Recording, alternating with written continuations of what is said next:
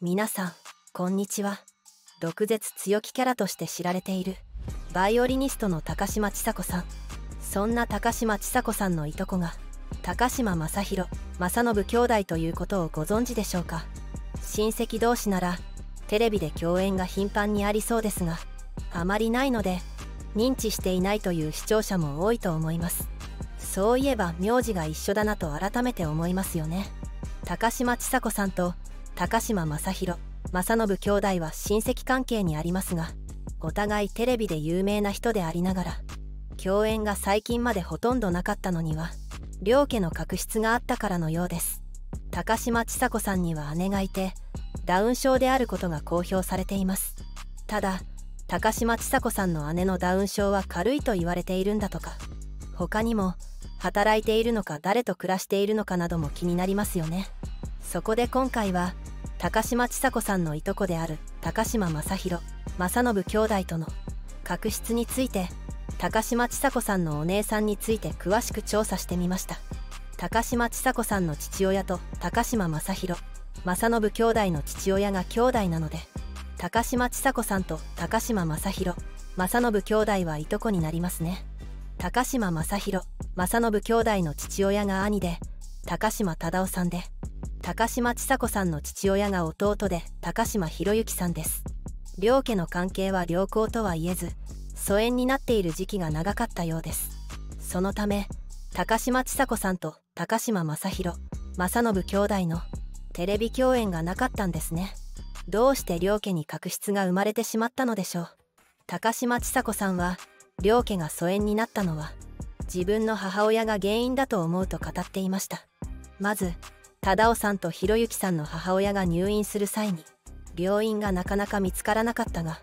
高嶋ちさ子さんの母親由紀子さんのパカライで簡単に入院できない病院に入れてもらえたようです。その入院直後に高嶋ちさ子さんの兄太郎さんの結婚が決まったのですが祖母は外に出たくない。体も疲れているからと言ったそう。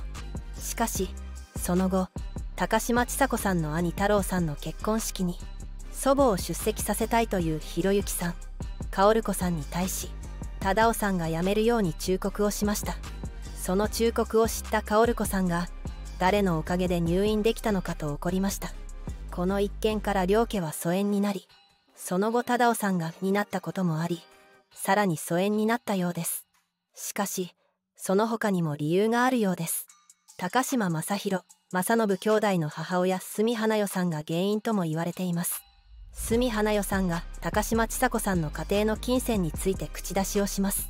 6歳頃からバイオリンを始めていた高嶋ちさ子さんに対しお金がかかるのに大丈夫なのとおせっかいな発言をします。その後高嶋ちさ子さんがアメリカ名門校から奨学金をもらって留学をしていたのに住花代さんは自分が留学費用を援助したと虚言。この発言に見下されたと感じた高嶋ちさ子さんの両親は距離を取ったとか他のも色々あるようです。相性が悪い親戚だったんですね。親同士は仲が悪く幼い頃はよく遊んでいた高嶋ちさ子さんと高島正宏正信兄弟も自然と疎遠になります。しかしいとこ同士の仲は良いようです。親同士が不仲でしたが高島忠夫さんが亡くなったことで親の確執は消滅しいとこの疎遠も解消されたようです。最近ではテレビ共演もするようになり高嶋ちさ子さんも高島正宏正信兄弟も濃いキャラなのでいとこ同士で面白いトークを繰り広げてくれるのが想像できますね。現在高嶋ちさ子さんと高島正宏正信兄弟の関係は良く SNS でも仲の良さを感じられる投稿があります。高嶋ちさ子さんは昔からおかしかったけどこんなにおかしくなっちゃうとは子供には説明に困ったけどね。しかし高島家はおかしな人が多いな。私以外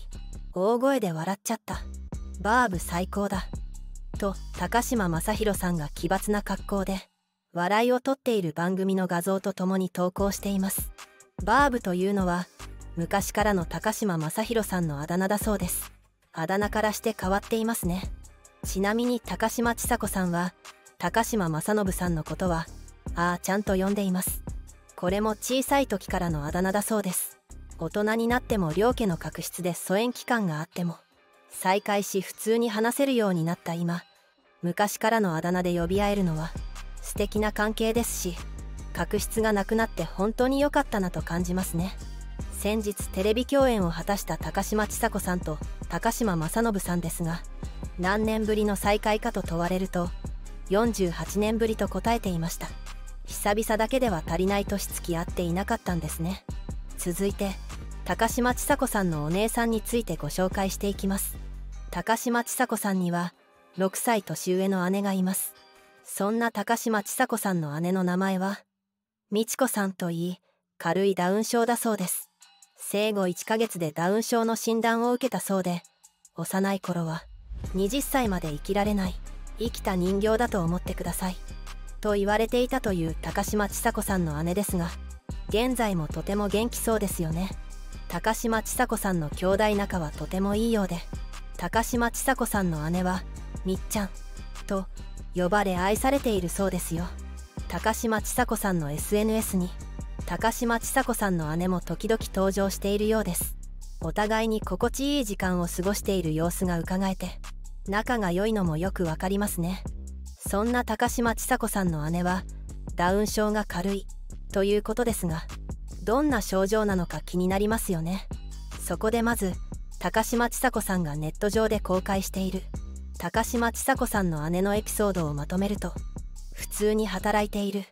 知人にダウン症って気づかれていなかった。高度な嘘がつける頭脳派。機械に強く取説なしで何でもできる。などがあるようです。どうやら高嶋ちさ子さんの姉のことをダウン症と言っていいのかわからないぐらい頭がよく優秀な印象のようですね。ちなみに高嶋ちさ子さんご自身も高嶋ちさ子さんの姉のことを軽いダウン症と呼ぶよりもユニクロに例えてスーパーライトダウン。と名付けるほどだそうですよ。ただ高嶋ちさ子さんの姉は優秀な一方でやはりダウン症の特性がしばしば出ることもあるようで高嶋ちさ子さんが悩む心境も公開されています。このことから高嶋ちさ子さんの姉を総合的に見るとダウン症ではあるものの日常生活の簡単なサポートがあれば普通に生活が送れるレベルであることからダウン症は軽い。と言われているようですね。軽いダウン症であることが分かった高嶋ちさ子さんの姉は母親がすでに他界しているため80代を超えた高齢の父親と2人暮らしをしていました。そんな高嶋ちさ子さんの姉と父親の生活の中でダウン症の高嶋ちさ子さんの姉は朝食の準備や洗濯など日常生活は問題なしと言われるほどの生活をされていたそうです。ただ高嶋ちさ子さんと姉の父親の年齢がすでに80歳を超えた高齢であることもあり家族の将来について話し合いが行われ高嶋ちさ子さんの姉の今後についても家族会議が行われたそう。その家族会議で姉は何でもできるからこの際一人暮らしをした方がいいと高嶋ちさ子さんが提言し高嶋ちさ子さんの姉の一人暮らしがスタートしたようですよ。高嶋ちさ子さんの兄が代金を負担して高嶋ちさ子さんの姉にワンルームマンションを買ったそうです。そして高嶋ちさ子さんが生活のサポートをしながら高嶋ちさ子さんの姉は現在一人暮らしをしていることが分かりました。ただこの姉の一人暮らしがスタートするにはこんな背景があったようです。姉は突然歩けなくなり3ヶ月間車椅子生活を送っていたといいます。そして姉のお世話をするにも難しい環境であったことから先ほどの緊急会議が行われたそうです。本当は一人暮らしではなく施設に入居させようと家族の中では決断していたといいます。これには姉も同意をしていましたが突然施設は嫌だと入居を拒否するようになりこのように一人暮らしさせるといったことになったようです。現在高嶋ちさ子さんの姉は一人暮らしをしながら働いているようですがどこで働いているのかなど仕事についての詳細はあまり明かされていないようです。そんな高嶋ちさ子さんの姉は教会でピアノを弾いていた。カフェで働いている。洋服ショップで働いている。など多数の働いている噂があるようです。高嶋ちさ子さんの姉はピアノ演奏が得意で高嶋ちさ子さんと姉の母親の生前には母親と連弾を披露する腕前だったそう。2018年に高嶋ちさ子さんがツイッターで「みっちゃん姉がいつも通ってる教会」と投稿したことからピアノが得意な情報と相まって教会で働きピアノを演奏する仕事をしていたのではないかと言われているようです。教会では礼拝の時にピアノで伴奏することがあるようなので噂が本当であれば高嶋ちさ子さんの姉は教会のピアニストだった可能性が考えられますね。また2019年には高嶋ちさ子さんがバラエティ番組「今夜比べてみました」に出演した際ダウン症の人が通う作業場で働いていることを明かしていました。高嶋ちさ子さんの姉はダウン症などの障害を持つ方が働くカフェショップ。お菓子やパレット工房パレットで働いていたようです。高嶋ちさ子さんのインスタグラムには姉が作ったぬいぐるみが公開されています。現在も働いているのかは不明ですがこのカフェで働いている噂は本当だったようですね。さらに高嶋ちさ子さんの姉は過去にファッションブランド GAP で働いていたという噂もあります。ギャップには障害者雇用枠があるため高嶋ちさ子さんの姉は障害者就労支援センターに通いながら働き無遅刻無欠勤で6年間働いたと言われているそうです。ただ洋服ショップで働いているという噂は高嶋ちさ子さんの言及がなく確証はないのでネット上の噂レベルである可能性も高そうです。続けて高嶋ちさ子さんが夫と電撃離婚するのではと言われているようです。高嶋ちさ子さんが「ざわつく」金曜日の番組で夫への不満を爆発。さらにまさかの離婚宣言まで飛び出したことが世間で噂されるようになったきっかけのようです。高嶋ちさ子さんは離婚宣言について長男と次男が留学先から一時帰国して家にいたといい。日本に帰ってきたらやっぱりだらーんとしてる長男を見て